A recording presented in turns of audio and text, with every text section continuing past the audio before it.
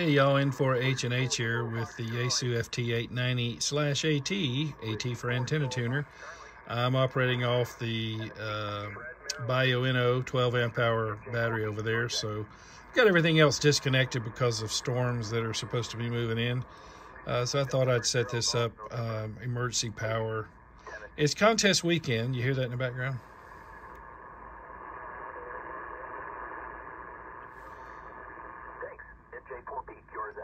So I might work this guy just so you can see this old guy in action here. It's a great, great radio. Oh man, I tell you.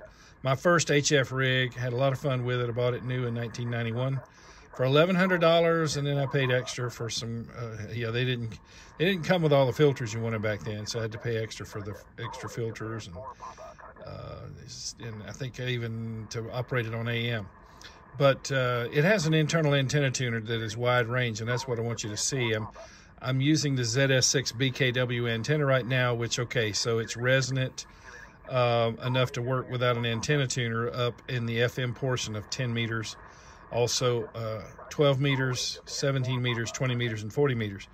But it can work with a radio like this. And my very first setup was this radio with a G5 RV, and I worked every band uh, from 10 through 80 with this rig using its internal tuner because it has a wide range internal tuner. It's a bigger radio.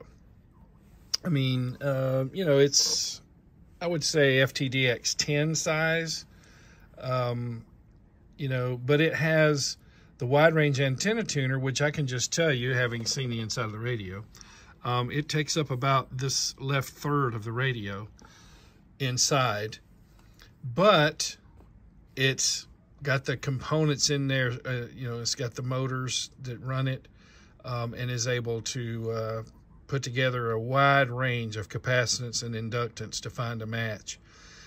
So it'll definitely match beyond a 3 to 1. So, for example, the internal tuner in the FTDX10, the FTDX 5000, FTDX 101, FT, FT710 could not make this antenna work on 80 meters. But watch this. See if he's still in.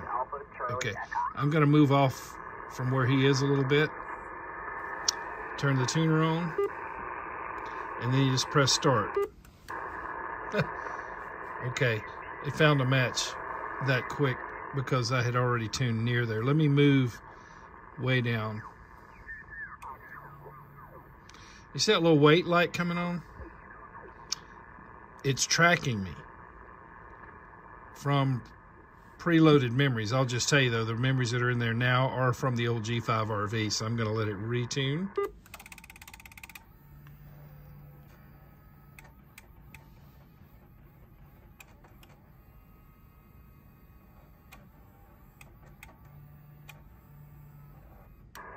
Here we go. Now that one actually took a little long, but like I said, it already had something in memory from the old G5 RV. So See that wait light coming on? Okay, so let's go back to where this guy is operating. And, yeah, see, it's ready to go here.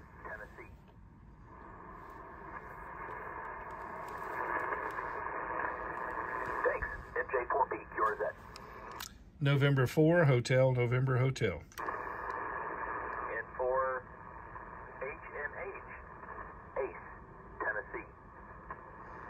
Yeah, hey, Doug in Georgia. Thanks for picking me up. Sound great down here, 5-9 plus. N4HNH. Thanks.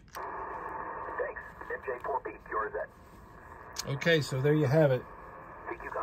Uh, first try. Internal antenna tuner matching a ZS6 BKW on 80 meters. It's not that the antenna can't be used on 80 meters. It just requires uh, a wider range antenna tuner. So I you know, thought you may enjoy that. Hope you did. Hopefully you found the video helpful and informative or at least entertaining. And uh, hey, I want to thank the Patreon support team members who bring these videos to you. Without them, you wouldn't be watching this video.